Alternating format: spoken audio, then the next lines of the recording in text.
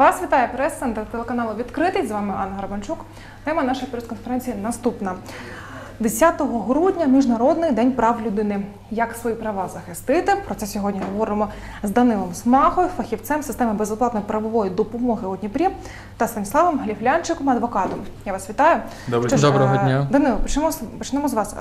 Е, Розкажіть е, про послуги, які дає держава, безкоштовні юридичні послуги, так правові, про які, мені здається, багато хто не знає. Так, у нас на сьогоднішній день е, діє система безоплатної правової допомоги, яка надається державою безкоштовно. Е, Ця правова допомога е, поділяється на види надання правової допомоги. Є первинна правова допомога та вторинна правова допомога. Первинна правова допомога включає в себе консультації, роз'яснення, складення якихось скарг, заяв, договорів тощо. Е, Хотілося б зауважити, що права допомога первинна надається е, різними категоріями органів е, державної влади. Це так передба- передбачено в законі. Крім того, первинна права допомога також надається і центрами з надання безоплатної вторинної правової допомоги. Що стосується безоплатної вторинної правової допомоги, то вона надається в нас центрами з надання безоплатної вторинної правової допомоги, одним із яких є Дніпровський місцевий центр з надання безоплатної вторинної правової допомоги. Е, Вторинна права допомога е, полягає, має наступні види: це захист особи е, в суді, складання процесуальних документів, здійснення представництва інтересів у суді. Е, Представництво це може бути реалізовано особою е, як адвокатами, так і юристами відділу. Угу. А, які документи потрібно, аби отримати безкоштовну правову допомогу від вас? Е, Для того, щоб отримати первинну правову допомогу, вона надається е, всім громадянам, які е, перебувають під юрисдикцією України та в необмеженої в необмеженій кількості раз. Тобто будь-яка особа, навіть іноземець, особа без громадянства, громадянин України, особа, яка має посвідку на тимчасове проживання в Україні, вона може звернутися до будь-якого центру, відділу, бюро за отриманням консультацій з роз'яснення необмежену кількість раз. Е, і в незалежності від категорії питання. Е, З вторинною правовою допомогою все складається е, трошки складніше. Вона е, може надаватися не більше е, шести разів на е, бюджетний рік. Бюджетний рік в нас е, такий же, як і календарний. Тобто, якщо особа звернулася протягом шести разів, то вже на сьомий раз вона не має права отримати вторинну правову допомогу. Для вторинної правової допомоги в нас існують категорії осіб, які мають на неї право. Е, Взагалі це малозабезпечена категорія осіб, е, дохід яких не перевищує е, два прожиткових мінімумів доходів громадян. Для непрацездатних там інший встановлений прожитковий мінімум, тому для них інша сума близько 3, е, 9 3900 гривень. Для працездатних це е, 4900. Е, Особа повинна бути суб'єктом, тобто мати такий дохід для того, щоб проходити в нас по категорії та отримати безоплатну вторинну правову допомогу.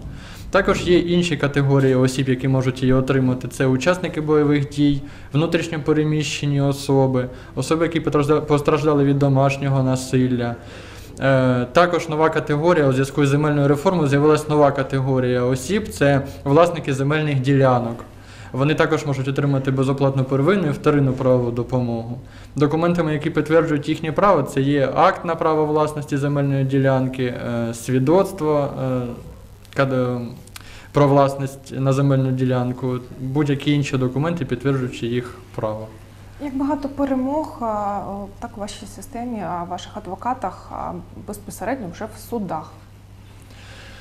Ну, в нас навіть є е, така, такий контроль в кінці місяця, який називається успішний кейс. Ми повинні публікувати свої успішні справи, які е, безпосередньо велися працівниками центру. І доволі таки багато є успішних справ, коли виграються і пенсійні справи, і справи про розірвання шлюбу, і справи про стягнення аліментів.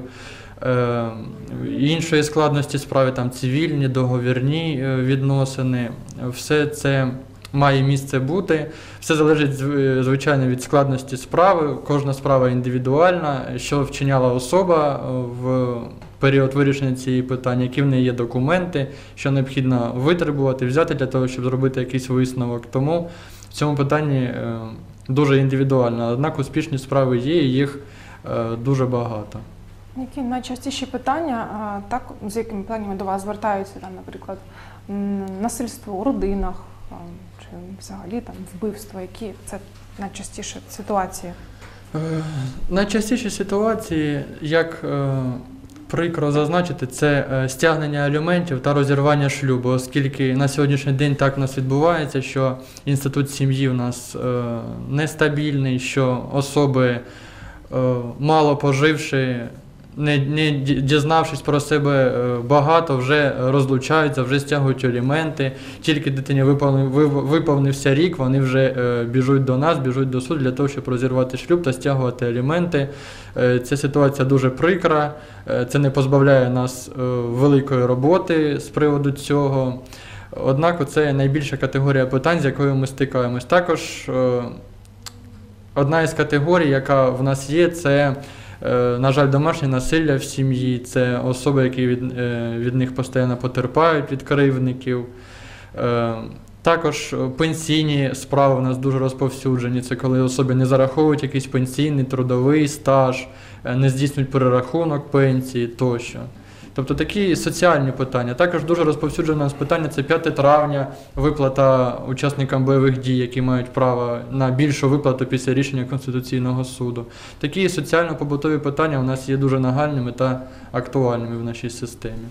Дякую. Станіславе, як ви гадаєте, якщо порівняти ситуацію зараз і, наприклад, 5-7 років тому, що змінилося? Чи люди стали більше а, так от е, вчити закони, вчити свої права, нагадувати про конституцію і так далі? Ваша оцінка? На самом деле, за 7 лет не изменилось вообще ничего у людей по поводу отношения к закону, кроме того, что они научились кричать, что э, есть конституция, нарушаются конституционные права, э, много они говорят, э, и проявляют свою э, экспертность во всех возможных социальных сетях и тому подобное. Но э, на самом деле в большинстве случаев, в 99% э, из 100, если не больше, да, то люди, которые говорят о том, что нарушены мои конституционные права, никогда их не читали даже и понятия не имеют о том, о чем они говорят. Это во-первых. Э, Объясню почему. Дело в том, что если взять в руки Конституцию, то вы очень удивитесь. Это такая тоненькая брошюрка, в которой написаны основы деятельности существования и государства, э, существования нашего государства, правового общества. Она декларирует основные моменты, то есть такой набор себе лозунгов, э, декларация основных прав человека, основных прав человека, которые в принципе и так подразумеваются в иных нормативных актах, и не более. То есть больше э, Конституции уделено внимание это непосредственно э, созданию нашего государства Украины, его функционированию, его функциональности. То есть это президент, э, который представляет главную исполнительную власть, кем он является, какие его функции, кабинет министров, который представляет исполнительную власть, кем он является, его функции, количество министров. Это Верховная Рада, которая является законотворцем у нас и пишет законы, и принимает законы. Э, Это суды, прокуратура, ну и так далее. То есть это Конституция. Вот в ней это написано. На самом деле все основные гражданские права человека, которые было бы неплохо людям знать, они прописаны в Гражданском кодексе Украины, который был принят в 2003 году, вступил в силу в 2004 году и, э, в принципе, является довольно шикарным документом для, э, для нашей страны. Э, И он, в принципе, по нему на сегодняшний день, собственно, работает абсолютно все. Он предусматривает и хозяйственную деятельность, порядок заключения договоров, он предусматривает э, м, э, взаимоотношения между гражданами относительно имущества, относительно выполнения каких-то услуг, работ, э, приобретения права собственности, относительно семейного а, права, там есть семейный кодекс, но в большей степени все равно есть отсылка к гражданскому, потому что он регулирует право относительно права собственности, ну и так далее. То есть наследство, тоже гражданский кодекс. То есть все аспекты жизнедеятельности человека это не конституция, это гражданский кодекс. И увы, к нему, э, ну конституцию никто не считает, гражданский кодекс тем более, потому что гражданский кодекс это вот такенный, вот, э, вот такая вот книженция э, на, тысяч, на, на тысячу, э, там вот коллега не даст соврать, там на около двух тысяч статей. То есть это огромный документ. Далее, какая самая главная проблема наших людей, по моему глубокому убеждению. Первая проблема это то, что ни на каком уровне получения среднего образования человеку совершенно не преподаются основы его знаний прав. То есть ему не показывают, где же ему читать, где же ему изучать определенные моменты для того, чтобы, например, правильно устроиться на работу. Или, например, правильно уладить свои отношения со своей там, бывшей супругой или бывшим супругом относительно детей и уплаты алиментов или раздела имущества. Приобретение права собственности, спора с наследниками и подобные вещи. Это такие моменты, которые в жизни человека возникают, э, ну скажем так, по-любому. Да? То есть в любом случае, закончив школу или закончив университет, человек пойдет на работу. Дальше возникают проблемы у нас какие? Э, огромный процент нетрудоустроенных людей, не оформленных на работе, которые работают за зарплату в конверте. Опять-таки, в большинстве случаев это связано с тем, что люди не знают, каким образом нужно оформлять э, свои права, ну, права с работодателем. Увольнение. А, когда человека заставляют уволиться, заставляют написать заявление об увольнении по собственному желанию, а потом человек пишет жалобу в инспекцию труда о том, что его незаконно уволили. А работодатель показывает, что же незаконно, он заявление написал о собственном желании, я его уволил по собственному желанию, вопросов никаких нету. То есть человек, который писал заявление, нереально не знал, что его могут уволить по другим статьям, по которым он сможет без труда восстановиться, например, на работе, если от него относительно его осуществляли незаконные действия умер кто-то из родственников, э, вступление в наследство. У нас просто повсеместно пропуск срока на принятие наследства.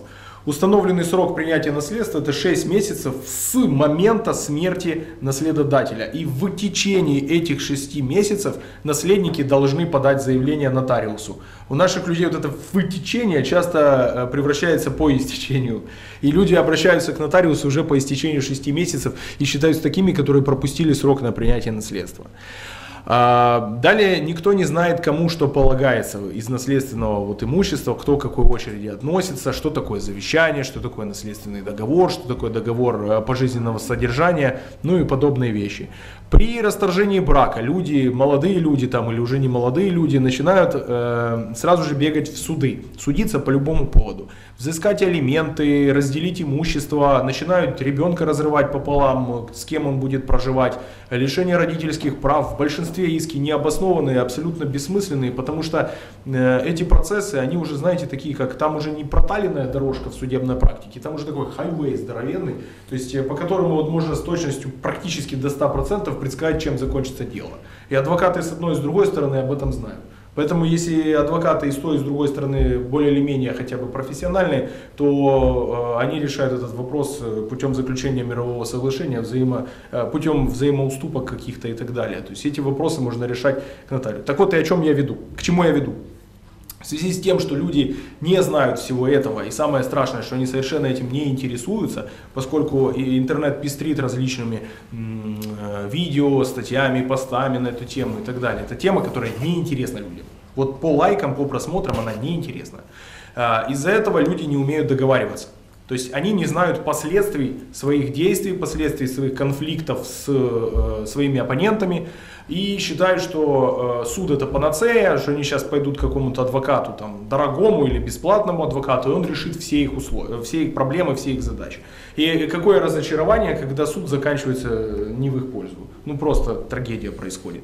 Все по той причине, что люди просто-напросто на самом деле, как бы они ни кричали про Конституцию, не знают своих прав, не знают своих основных э, обязанностей, не знают, чем закончится определенное правоотношение. Из-за этого они не могут договориться и бегают в суд, тратят свои деньги, время, нервы на абсолютно бессмысленные вещи.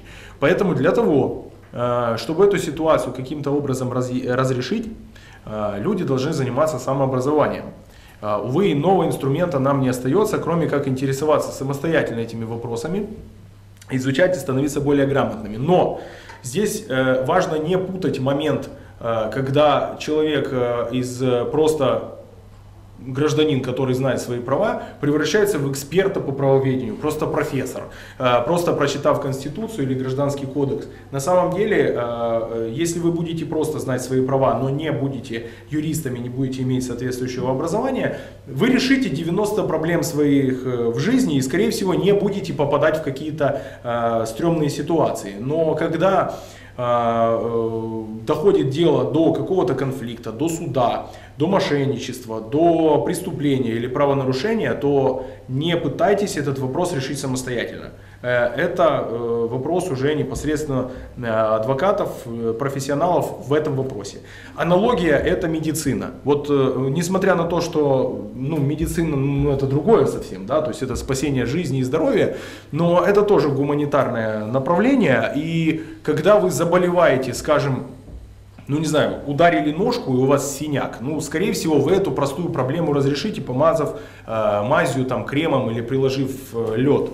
Если же у вас там э, насморк, то тоже, скорее всего, там закапав те капельки, которые вы капали при прошлом насморке, вам помогут. Но если у вас случается серьезное какое-то заболевание, и вы начинаете заниматься самолечением, это, как правило, приводит к очень серьезным последствиям. Или хроническому заболеванию, или же его усугублению, и даже иногда смерти. Поэтому, когда вы заболеваете чем-то серьезным, вам необходимо обратиться к медикам. Здесь такая же самая ситуация. Вы должны знать какие-то основы, вы должны знать, э, как э, поступить в кон- конкретной ситуации. Если вы понимаете, что у вас предстоит какая-то сделка, а, какие-то переговоры сложные, или вы устраиваетесь первый раз на работу и не знаете, как правильно оформиться, то поступите так, как поступают люди в э, европейских странах. У нас же там светлое будущее. А они идут просто и консультируются у специалиста. Якщо немає коштів на консультацію, Есть бесплатная консультация, во-первых, о которой говорил мой коллега сегодня, это, это раз. Во-вторых, есть масса моих коллег, которые платные адвокаты, э, и нередко не дешевые адвокаты, но в качестве маркетингового хода они предоставляют первую консультацию бесплатно. Как правило, этой консультации на первых э, этапах в большинстве случаев вполне достаточно. Найдите бесплатную, проконсультируйтесь там, пойдите к нескольким специалистам, звідси в мене питання: а як визначити адво- адвокат, е, професіонал або ні? Є якісь, якісь маркери? Зрозуміти. Да, в принципе, ну, во-первых, э, хорошего адвоката, наверное, вам обязательно кто-то посоветует. То есть вам скажут, что вот этот адвокат разрешил э, массу моих там вопросов каких-то или очень сложный момент, он помог, профессионал там и так далее. Из нескольких источников вы Тобто получили не такую через. Google. А, Можно через Google, то есть есть масса, сейчас интернет, слава богу, тоже, есть масса, э, вот адвокат, который постоянно живет своей профессией, э, так или иначе он будет появляться в средствах массовой информации, э, в статьях разных, там, в, пи- писать статьи, он будет иметь какие-то отзывы. То есть вы будете видеть, что человек вот как в конкретной области себя рекламирует, конкретной областью занимается, и самое главное, вы можете проверить существование его работы. По моему вообще глубокому убеждению, адвокат это публичная профессия, то есть вот э, его должно быть видно. А, И третий момент, э, когда адвокат вам на, э, при встрече говорит, я вам 100% это дело выиграю, мы по-любому, вот это у вас просто победная ситуация, мы вот, я вам гарантирую и так далее. Скорее всего, мошенник. Почему? Потому что дело в том, что адвоката, конечно, много зависит на первых этапах, но нужно понимать, что решение принимает не он, принимает суд. Есть масса аспектов, э, масса субъективных, объективных причин, по которым э, решение может быть не в вашу пользу. И адвокат не имеет права и не может э, гарантировать вам какой-то результат. Э, Поэтому, ну и, и четвертое, наверное, это просто вот общение с человеком. А Если оно не вызывает у вас никаких подозрений, если он у вас вызывает, дови- самое главное, э, ощущение доверия, то, наверное, это человек, с которым можно работать. Потому что нельзя нанимать адвоката, которому вы не доверяете. Это ваш поверенный, по сути, ваш советник и э, человек, который э, ну, как, как- ко- которому вы должны безгранично доверять. Иначе это будет не работа, вы будете сами себе мешать постоянно, а, влазя ну, в то, что не нужно, и там, требуя от него каких-то действий, которые делать не надо. І е, коротко, ваша оцінка, навіть трохи політики. Е, чи е, права українців стали захищатися більше останніми роками? Э, Давайте разделим Якщо несколько... можна коротко. Да, я постараюсь. Значит, есть у нас два э, момента, которыми, два рычага, которыми э, гражданское общество защищает свои права. Суд и правоохранительные органы. Суд. В суде ничего совершенно не изменилось, то есть происходят какие-то реформы, перестановки, увольнения, набирание новых судей. Э, То было четыре инстанции, сейчас опять три инстанции. Э, По сути, как бы ничего не меняется. Э, Защита прав в суде, она в принципе возможна. Э, Во многих аспектах именно гражданских правоотношений, семейных, э, она довольно эффективна. А Что касается хозяйственных отношений, э, увы, коррупцию там не побороли, она присутствует, это нужно учитывать. Что касается полиции, по моему глубокому убеждению, реформа полиции провалилась, э, а эта защита совершенно неэффективна. Мы можем смотреть по принципу открытия уголовных дел. То есть Давайте соберем, остановим 10 человек на улице, спросим, э, если вы обращались в полицию с заявлением, открыли у вас уголовное производство, если открыли, то чем закончилось? Вам скажут, скорее всего, что мое заявление не приняли, или за- скажут о том, что дело до сих пор находится в полиции, суд не передано. То есть э, волокита, ничего не происходит, лежат на пыльных полках э, всякие уголовные дела, которые не доходят до суда годами. А когда доходят до судов, то там они лежат опять-таки годами. Поэтому вот э, два вот таких вот направления. Есть еще административное, как бы, ну там, там все в принципе более или менее нормально. Э, Если, ну, полиция в принципе, если оформляет э, правонарушения, и если они там собрали доказательства, сделали, то норма. А так, ну, такое. Дякую за вашу думку. На жаль, ефірний час у нас закінчився. Хоча про права людини треба говорити більше і частіше. Правильно? так. Я нагадую, що в наших гостях сьогодні був Данило Смага, фахівець системи безоплатної правової допомоги у Дніпрі, та Станіслав Ліфлянчик, адвокат. Говорили про а, так міжнародний день людини, як захистити свої права і пам'ятати про них. А, з вами була Анна Горбанчук. Дякую за увагу.